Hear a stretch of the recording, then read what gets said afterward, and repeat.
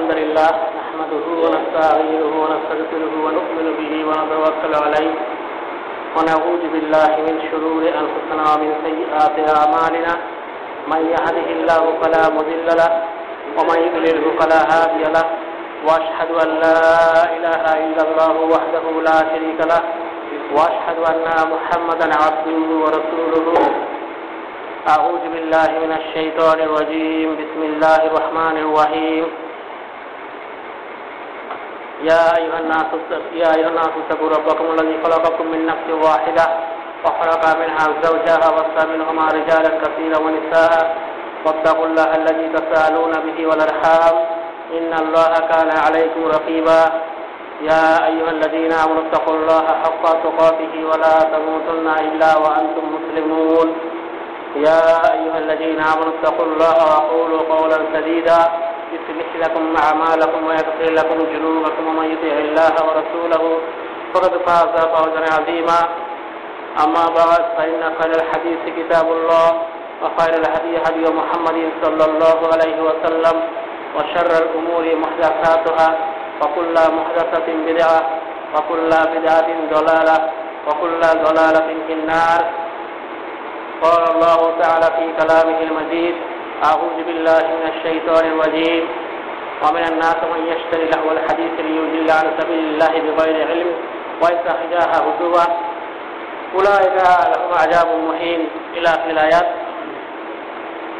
সমস্ত প্রশংসা সমস্ত তারিফ সেই মহান রব্বুল আলমিনের জন্য যিনি তার অশেষ কৃপায় আমাদেরকে তার মনোনীত দিনের অন্তর্ভুক্ত করেছেন এবং তার ইবাদত করার সমতি প্রদান করেছেন, তার প্রশংসা আমরা বলি, আলহামদুলিল্লাহ।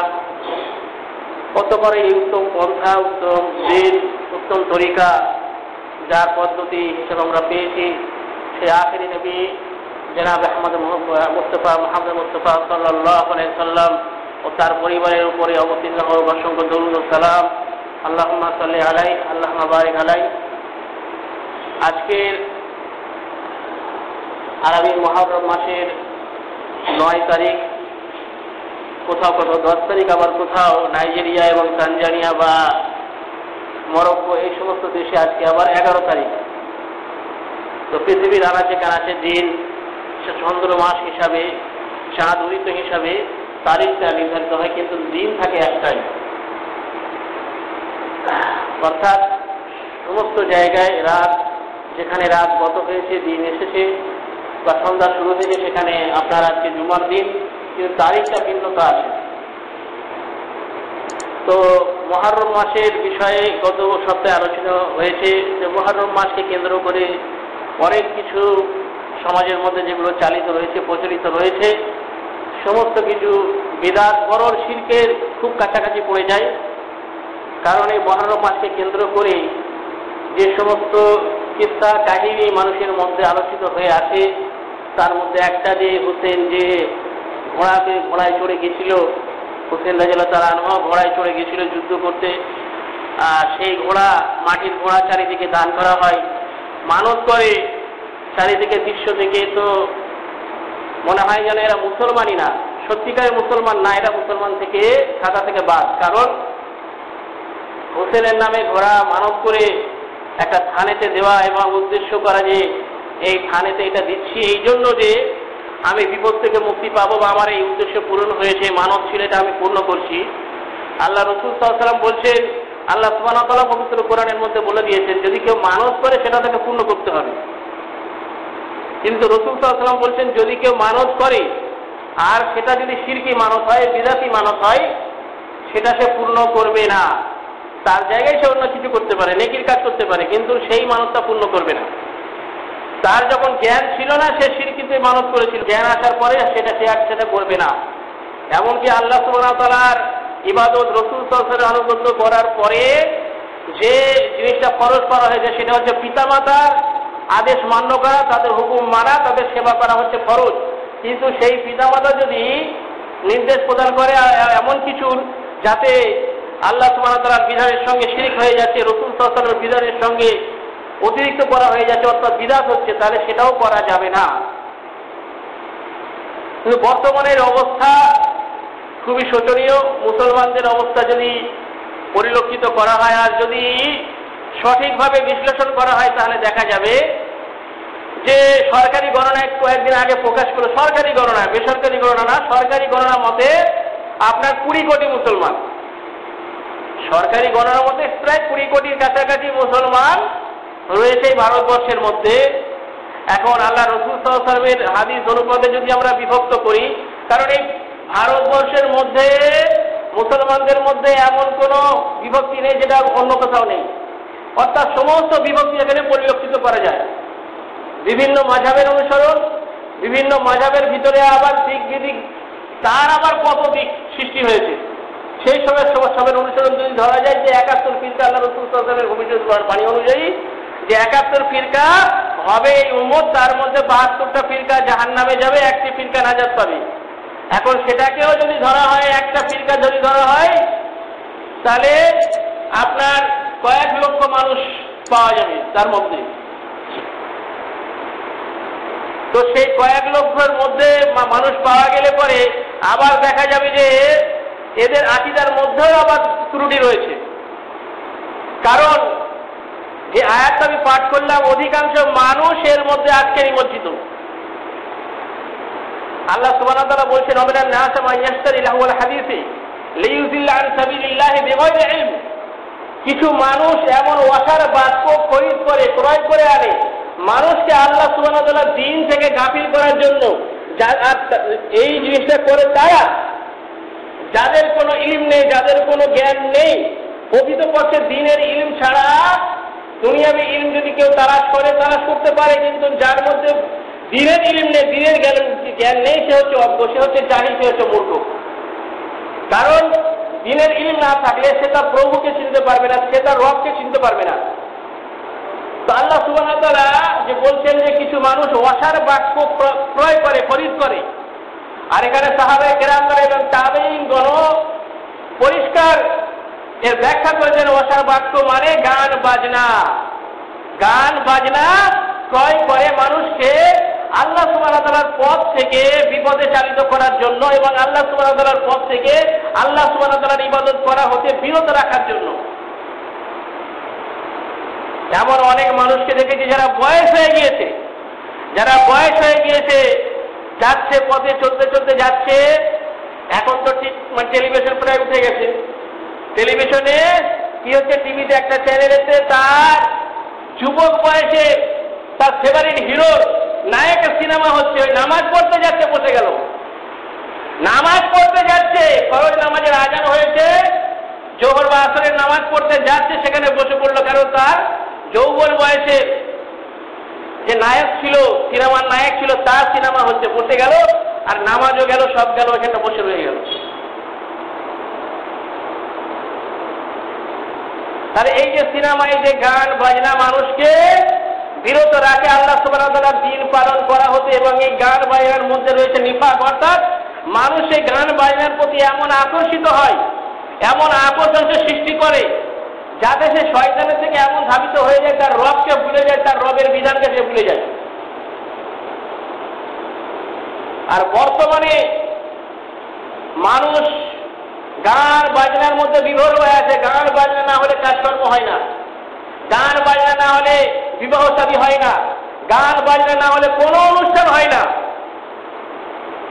অথচ ইসলামে বাদ্যযন্ত্র সম্পূর্ণ হারাম। ইসলামে বাদ্যযন্ত্র সম্পূর্ণ হারাম। এমনকি বিনা জাতীয় বাদ্য, সুর, আপনার যেটা বাঁশি বলা হয় বাঁশি, সেই বাঁশির শব্দও হারাম। মিসকাতে হাদিস নম্বর চার হাজার আটশো দশ। হাজার আটশো একাশি সেখানে হাদিস রয়েছে না পেয়ে রাজা তালানো বলছেন, একদা আমি উমার রাজা তালানোর সঙ্গে যাচ্ছি, একটা সফরে যাচ্ছি। হঠাৎ এক একদিক থেকে বাঁশির একটা শব্দ আসতে শুরু করল। যত এগিয়ে যাচ্ছি, বাঁশির শব্দটা তত এগেছে তত বেশি হচ্ছে। উমার রাজাল তালানো তখন কি করলেন? তার দুটি শাহাদত আমল কানের মধ্যে ভরে দিলেন।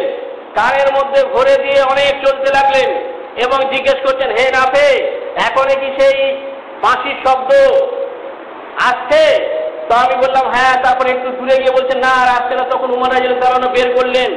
তখন বললেন যে, আমি যেরূপ করলাম ওর অনুরূপ। মহানবী মোহাম্মদ রসুল্লাহ সাল্লাহ সাল্লামকে করতে দেখেছি।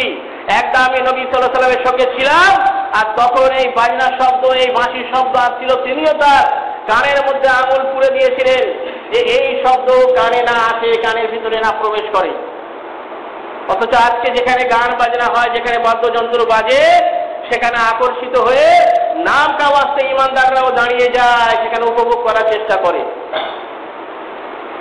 তারপরে বুখারির হাদিস নম্বর পাঁচ হাজার পাঁচশো নব্বই। আবু মুসা আচারি রাজল তালান থেকে বর্ণিত, আল্লাহ রসুল সাল্লাম বলছেন যে, এমন একটা যুগ আসবে যে যুগের মুসলমানরা, যে যুগের ইমানদার ব্যক্তিরা কি করবে? মদকে মদ হারাম হওয়া সত্ত্বেও সেটাকে পান করবে। রেশমের কাপড় পুরুষের জন্য হারাম হওয়া সত্ত্বেও তারা সেটাকে পরিধান করবে এবং সেটাকে পরিধান করে নিজেকে জাহির করার চেষ্টা করবে, অহংকারে মত্ত হবে। এবং বাদ্যযন্ত্র আমার উন্মতের জন্য হারাম হওয়া সত্ত্বেও সেটাকে হালাল মনে করবে।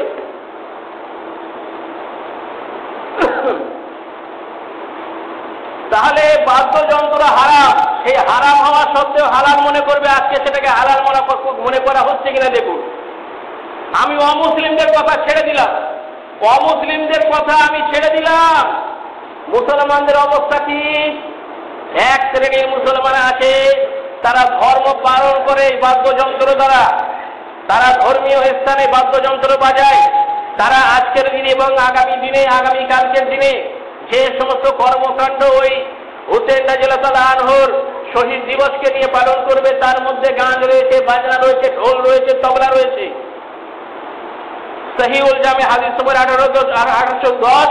আল্লাহ রসুল সাল্লাম সেখানে অনেক কিছু বলেছেন। আনাসুল্লাহ জেলা তালারো থেকে বর্ণিত হাদিস যে কুকুরের মূল্য, বেশ্যার কামাই, এ সমস্ত হারাম হওয়ার সঙ্গে সঙ্গে তবলা হারাম, বাজনা হারাম, তবলা হারাম, ঢোল হারাম, বাজনা হারাম, বাদ্যযন্ত্র হারাম। আর এখানে ওটা তো ইসলাম নয়, যেটাকে আল্লাহ ছাড়া অন্যের পূজা করে তারা। মুসলমানরা কি করে? মাজার করে, মাজারে যায়। উরুষ হয়, গান বাজনা হয়, কাবালি হয়। সেখানে আল্লাহর নাম নেওয়া হয়, রসুলের নাম নেওয়া হয়। আর আজকে মুসলমানদের সেই সমস্তকে অনুসরণ করে তো মুসলিমরা করতেই পারে, তাদেরকে কিছু বলা যাবে না। কেন মুসলমানরাই এগুলোর আজকারা দিয়েছে মুসলমানরাই এগুলো শুরু করেছে। এখন ওই আসছে আগামী মাস তো সফর মাস, তারপরে রবিউল আউ্বাল মাস। রবিউল আউ্বাল মাসে বারো তারিখে মুসলমানরা নবীর জন্মদিন পালন করবে। এদেশ থেকে শুরু করে বাংলাদেশের মধ্যে বেশিরভাগ শুরু হয়েছে। আপনার নবী দিবস পালন করবে, আবার ডিজে বাজিয়ে, বক্স বাজিয়ে, ডিজে বাজিয়ে, বাজনা বাজিয়ে তারা নবী দিবস পালন করে। তারা এরা কেমন মুসলমান? অথচ আঙুল তোলা হচ্ছে কোথায়?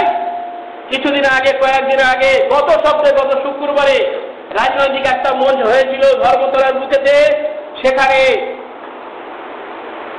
ধর্মীয় সম্প্রীতির আহ্বান দিতে গিয়ে সেখানে মঞ্চেতে একটা গায়ক, সেখানে আজানও দিয়েছে, আবার হিন্দুদের মন্ত্রও পাঠ করেছে, আবার খ্রিস্টানদেরও পাঠ করেছে, অনেক কিছু করেছে। সেই কিন্তু সেখানে তবলা বেজে যাচ্ছিল আপনার বাজনা বেজে যাচ্ছিল, এটাকে কেন্দ্র করে অনেক মুসলমান তাদের বিরোধিতা করছে। তাদের কাছে দাবি রাখছে যে ক্ষমা চাইতে হবে আজানের সঙ্গে, বাদ্যযন্ত্র বাজলো কেন? আমি ওখানে কমেন্টে লিখেছিলাম ফেসবুকে তো আমার কমেন্টে কেউ জবাব দিতে পারেনি যে এটা আজকারা কিন্তু মুসলমানরা দিয়েছে। ওই যে গায়কটা গাচ্ছে সে তো মুসলমান নয়, তার তো ইসলাম সম্পর্কে কোনো জ্ঞান নেই। সে জানে না যে ইসলামে হারাম। যে গানটা লিখেছে যে এটা গাইতে হবে, সেও জানে না, তারও জ্ঞান নেই, কিন্তু মুসলমানদের তো জ্ঞান আছে। কিন্তু মুসলমানদের জ্ঞানটাও সেটাও নেই, কারণ এরা তো হাদিস পড়ে না। এটা এরা কি করে? কোরআনটা খুব সুন্দরভাবে পড়তে জানে। কোরআনের মাদ্রাস তাদের কাছ থেকে আমাদের মাদ্রাসার ছেলেরা পারবে না। আর হাদিসরা, ওই ব্রেলিদের সঙ্গে আর দেওবন্দীদের সঙ্গে কোরআন সহিভাবে পড়ার দিকে পিছিয়ে থাকবে, অনেক পিছিয়ে থাকবে। কিন্তু হাদিস শাস্ত্রের দিক থেকে, কোরআনের ব্যাখ্যা কৌশল হাদিস শাস্ত্রের দিক থেকে তারা দশ আনাও জানে না কিছু জানে না। তাদেরকে পড়ানোই হয় না হাদিস। তাদেরকে ইমানদের জীবনী পড়া হয়, পড়ানো হয়, ওলি আউলিয়াদের জীবনী পড়ানো হয়।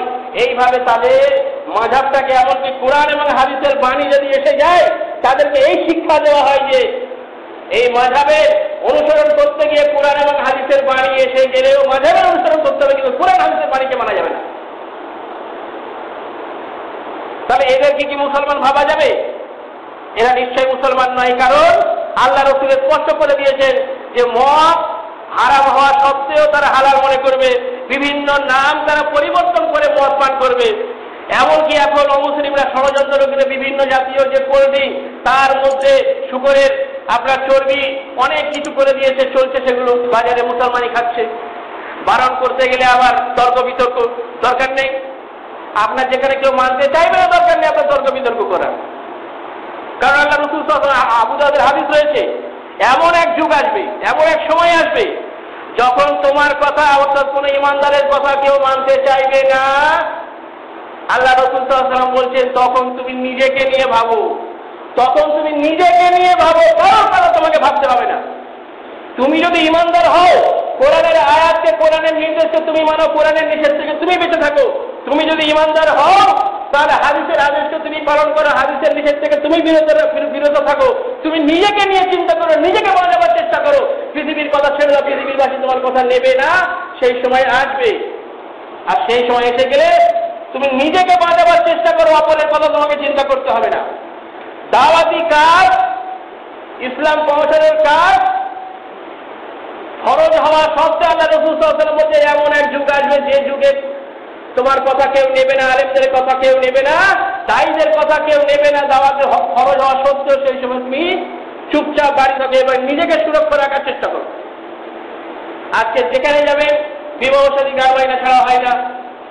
আপনার কোনো অনুষ্ঠান, আপনার গান বাইনা ছাড়া হয় না। নবীর নামে জন্মদিন পালন করবে তারা। সেই জন্মদিনে নবী কি কোনোদিন গান বাইনা করেছেন? নাকি শুনেছেন? নাকি তার সাহাবাই কেরামরা কোনোদিন গান গান বাইনা করেছেন? বরং সাহাবাই কেরামদের মধ্যে এই নিদর্শন পাওয়া যায় যে দাবাত করা হচ্ছে, কর্তব্য দাবাত গ্রহণ করা হচ্ছে অজীব কোনো ব্যক্তি যদি কাউকে বিবাহে বা অন্য কোনো অনুষ্ঠানে দাওয়াত দিল, যেখানে সিরিক বিদাত নেই আমি আমার জন্য দাওয়াত কবুল করাটা হচ্ছে ওয়াজিব, আমাকে যেতে হবে দাওয়াত বাড়িতে। কিন্তু গিয়ে যদি দেখা যায়, সেখানে শরীয়ত বিরোধী কিছু হচ্ছে আবু মোসা আশারি রাজেরা তারা গিয়েছিলেন। একটা আবার বাড়িতে সেখানে গিয়ে দেখলেন কি? চারিদিকে পর্দা খাটানো আর পর্দার মধ্যে জীবজন্তুর ছবি লটকিয়ে রয়েছে সৌন্দর্য বাড়াবার জন্য বিবাহের মণ্ডপের। সৌন্দর্য বাড়াবার জন্য সেখানে ওই পর্দা লাগানো রয়েছে, তার মধ্যে জীবজন্তুর ছবি। অথচ আল্লাহ রসুল সাল্লাম বলেছেন, যে বাড়িতে কোনো জীবের ছবি থাকে, প্রাণীর ছবি থাকে, সেই বাড়িতে আল্লাহ রহমতের ফেরেস্তা প্রবেশ করে না। তিনি বিবাহ বাড়িতে প্রবেশ করতে গিয়ে চলে আসছেন।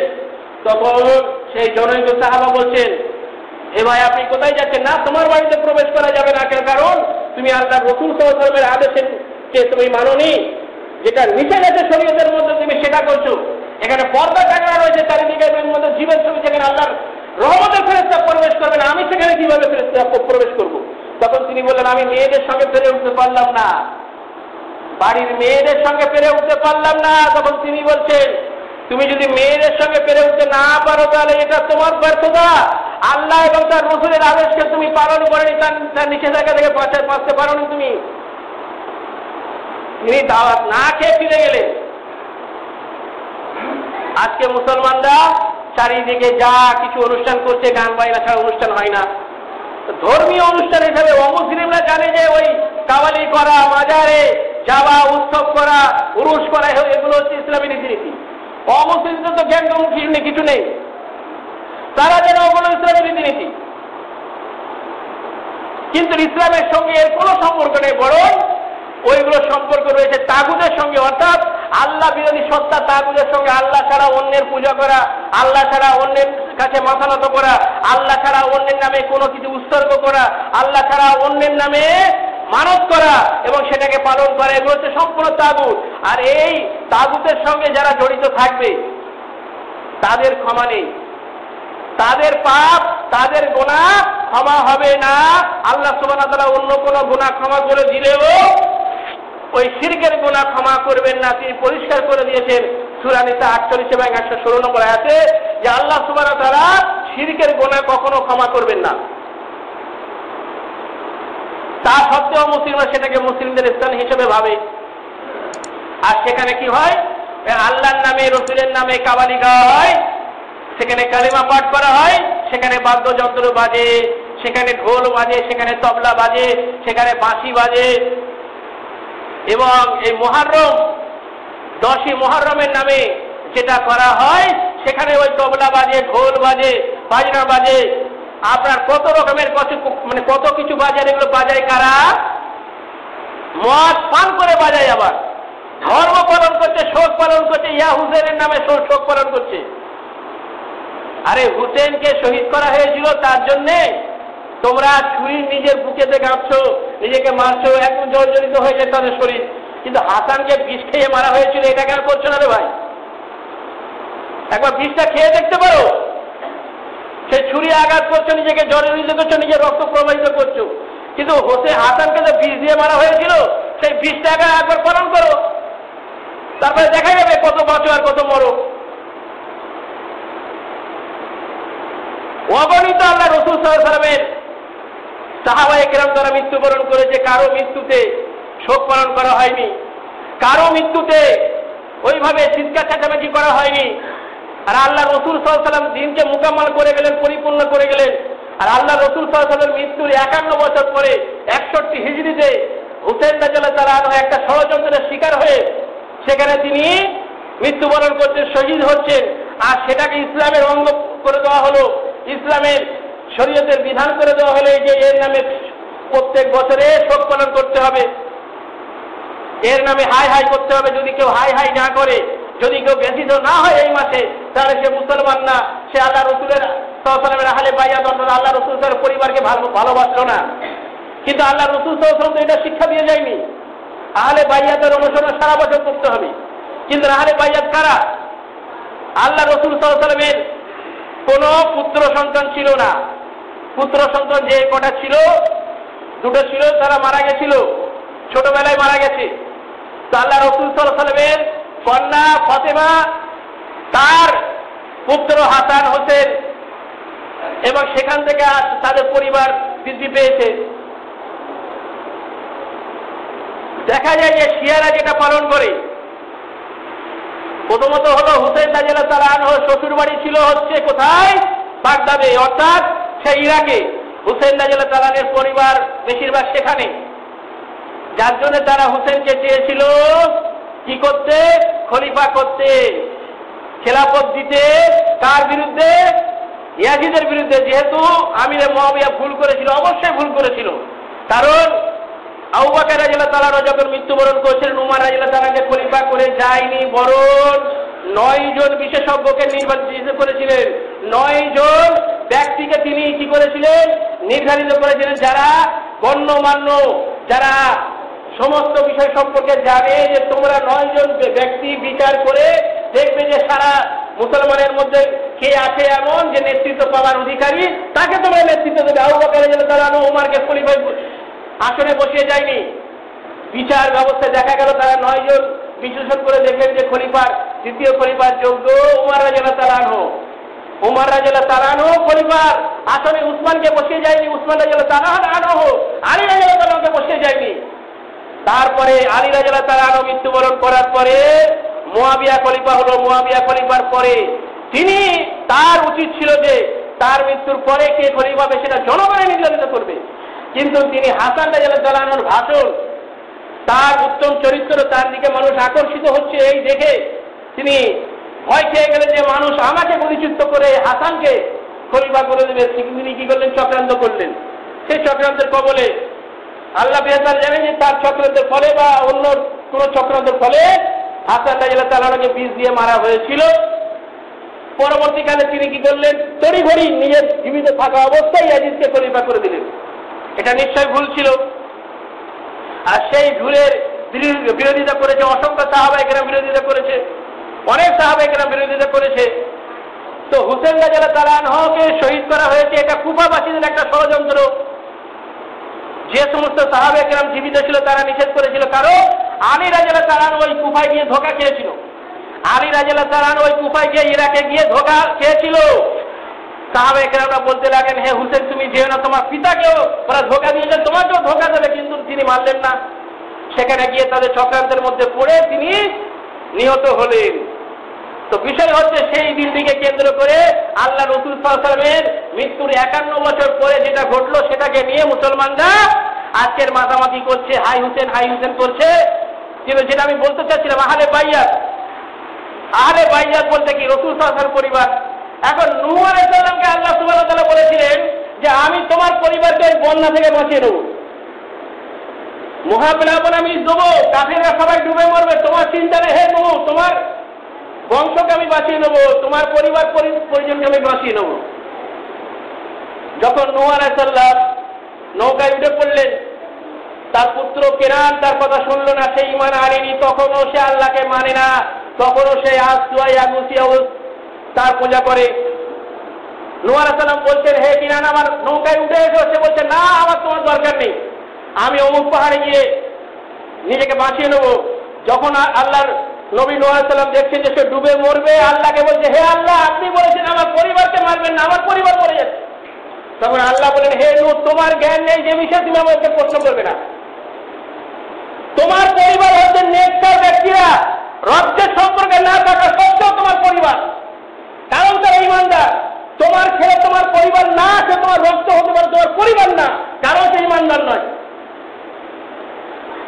মহানবী সাল্লাম একদিন দাঁড়িয়ে ওই মক্কার দিকে আঙুল তুলে বলেছিলেন ওই বংশের লোকেরা, ওই বংশের লোকেরা, অমুক বংশের লোকেরা, তমুক বংশের লোকেরা, আমার প্রিয় পাত্র নয় আমার বংশের লোক নয় বরং আমার বংশের লোক, আমার প্রিয় পাত্র হলো তারা, যারা আল্লাহর প্রতি ইমান রাখে। আল্লাহ তৌহিদের উপরে ইমান রাখে, তারা হলো আমার বংশের লোক, তারা হলো আমার কাছে প্রিয়।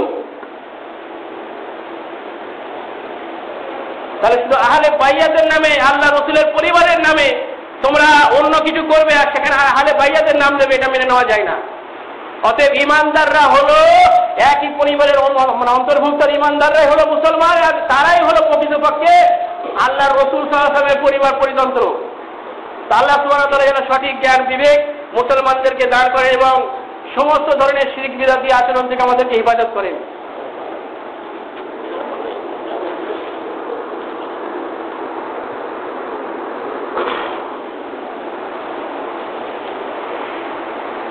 আলহামদুলিল্লাহ রাসূলিল্লাহ। এবারে আলোচনা যেটা হলো, তার মধ্যে এসে গেল গান বাজনা ক্ষেত্র থেকে। চলে এলো কিছুটা, যে গান বাজনাকে কেন্দ্র করে গান বাজনা করে ধর্মীয় আচরণ পালন করা হচ্ছে। আর এটা আল্লাহ রসুল সাল্লাল্লাহু ভবিষ্যৎবাণী আছে। আর আল্লাহ সুবহানাহু পরিষ্কার বলে দিয়েছেন যে কিছু মানুষ এই গান বা গানের নামে, বাজনার নামে বাদ্যযন্ত্রের নামে মানুষকে কি করবে? আল্লাহর পথ থেকে অন্য পথে চালনা করার প্রয়াস করবে, তারা চেষ্টা করবে। উড়ায় গেল আজাব মহিন। সুরা লুকমান, আয়াত নম্বর ছয়। সুরা নম্বর একত্রিশ, আয়াত নম্বর ছয়। আল্লাহ সুবাহ বলছেন, কাল কিয়ামতের জন্য তাদের জন্য লাঞ্ছনাদায়ক শাস্তি, একদম অপমানজনক শাস্তি রাখা থাকবে কাল কিয়ামতের দিনেতে। কাল কিয়ামতের দিনেতে তাদের জন্য অপমানজনক শাস্তি প্রস্তুত থাকছে তাদের জন্য। তো গান বাজনা এমন একটা বিষয়, বিভিন্ন সাহাবে গ্রামের উক্তি আছে এবং তাবি তাবাইনির উক্তি আছে যে এই গান বাজনার নামে মানুষকে বিভ্রান্ত করা হয় এবং এই গান বাজনা মানুষের অন্তরে নিভাস সৃষ্টি করে, মানুষের অন্তরে অন্তরে সন্দেহজনক সৃষ্টি করে এবং এই গান বাজনা মানুষকে দূরে রাখে কাছ থেকে? আল্লাহ থেকে এবং তার বিধান থেকে। অতএব এই গান বাজনা পরিহার করার সর্বোপরি চেষ্টা করতে আমার ইমানদারের যে লক্ষণ আল্লাহ সুবাহ তারা দিয়েছেন, রসুল সাল্লাল্লাহু বলছেন, আপনার সেই মুসলিম হাদিস নম্বর পঞ্চাশ এবং একান্ন, যে ইমানদারের লক্ষণ হচ্ছে কোনো অন্যায় কাজ দেখবে হাত দ্বারা রুখবে, যদি সেটা সম্ভব না হয় তাহলে মুখ দ্বারা রুখবে, যদি সেটা সম্ভব না হয় তাহলে ঘৃণা ভরে সেখান থেকে সরে যাবে। আর যদি এটাও না থাকে কারোর ভিতরে যে অন্যায় কাজ হচ্ছে, পাপ হচ্ছে, হারাম হচ্ছে, সেখান থেকে ঘৃণা ভরে সরেও যদি না যেতে পারে জানতে হবে তার ভিতরে ইমান নেই, তার ভিতরে ইমান নেই, তার ভিতরে ইমান নেই। তো খুদবা এখানে শেষ। একটা আবেদন করা হচ্ছে চারিদিকে। প্রত্যেকটা মুসলিম সংগঠন থেকে আহ্বান করা হয়েছে আজকের জুমার খুদবাদের প্রত্যেক জায়গায় বলার কথা বলা হয়েছে। কোন রাজনীতি আমরা করি না, কোনো রাজনীতির মধ্যে আমরা যেতে চাই না, কিন্তু মুসলমানদের জন্য যেটা ক্ষতি, মুসলমানদের জন্য যেটা যদি যেটা ক্ষতি, সেটা যদি দেখা যায়, তো মুসলমানদের উচিত উচিত সেটাকে নিষেধ করা। এই যে গেল পঞ্চায়েত নির্বাচনে, গোটা রাজ্যে পঁয়ষট্টি জন মারা গিয়েছে। এখনও পর্যন্ত সেটা সরকারি হিসাব, বেসরকারি হিসাব তো আমি শুনছিলাম। এক জায়গায় আমাদের অফিসের সামনে বাস স্ট্যান্ড, সেই বাসের আপনার ড্রাইভার আর এরা যারা কন্ডাক্টর তারা গিয়েছিল নির্বাচনের দিনে, তারা বলছে কয়েকশো জন মারা গিয়েছে আমাদের সম্মুখে কয়েকশো জনকে। কত পুলিশ মারা গিয়েছে? পুলিশ আছে নির্দিলে গুলি চালানো সেসব আসছে একটা রাজনৈতিক দল থেকে ঘোষণা করা হয়েছে যে পাঁচ তারিখ বিজেপির যত কর্মকর্তা তাদের ঘর ঘেরাও করুক। এটা সংবিধান বিরোধী, আর এবং ওটা করতে গেলে পরে আমি কারোর ঘর ঘেরাও করতে যাব সে তো আমাকে ছেড়ে দেবে না। তারা বলে আছে যদি আসবে ধূপ পায়ে পাঠাবো চার কাঁধে। দশে মুসলমানদেরকে আবেদন করা হয়েছে যে অন্তত পক্ষে মুসলমানরা এই কর্মসূচি সূচিতে যেন অংশগ্রহণ না করে, কোনো বিজেপি কর্মীর বা নেতার বাড়িতে ঘেরাও করতে যেন মুসলমানরা না যায়। এই ঘোষণা চারিদিকে করা হয়েছে যে মুসলমানরা যাতে না যায় মুসলমানদেরকে নিষেধ করতে হবে। কারণ এখানে গেলে পরে যদি সেখানে কোনো দ্বন্দ্ব হয়, সেটা আর পার্টি পার্টি থাকবে না, সেটা হিন্দু মুসলমান হয়ে যাবে। এই আপনারা দেখেছেন দিল্লিতে বিজেপিকে হারানো হয়েছে। কে জিতেছিল? আম আদমি পার্টি। সেখানে কি হলো? তারপরে দাঙ্গা হয়ে গেল। ষড়যন্ত্র। এখানে ষড়যন্ত্র চলছে, এটাকে গুজরাট বানানোর বা দিল্লি বানানোর। অতএব এই ষড়যন্ত্র থেকে আমাদেরকে দূরে থাকতে হবে। মুসলমানরা যাতে সেখানে না যায় সেই কর্মসূচিতে অংশগ্রহণ না করে প্রত্যেক জমাতে এটা বলার জন্য অনুরোধ করা হয়েছে তো আমি বললাম আল্লাহ সুবহানাহু ওয়া তাআলা যেন সবাইকে সঠিক জ্ঞান দান করে আমিন ওয়াকরু দাওয়ার আলহামদুলিল্লাহি রাব্বিল আলামিন ইন্নাল্লাহা ওয়া মালাইকাতাহু ইউসাল্লুনা আলান নবী ইয়া আইয়ুহাল্লাযীনা আমানু সাল্লু আলাইহি ওয়া সাল্লিমু তাসলিমা اللهم صل على محمد وعلى ال محمد كما صليت على ابراهيم وعلى ال ابراهيم انك حميد مجيد اللهم بارك على محمد وعلى ال محمد كما باركت على ابراهيم وعلى ال ابراهيم انك حميد مجيد ربنا تقبل منا انك انت السميع العليم وتب علينا انك انت التواب الرحيم سبحان ربك رب العزه عما يصفون وسلام على المرسلين والحمد لله رب العالمين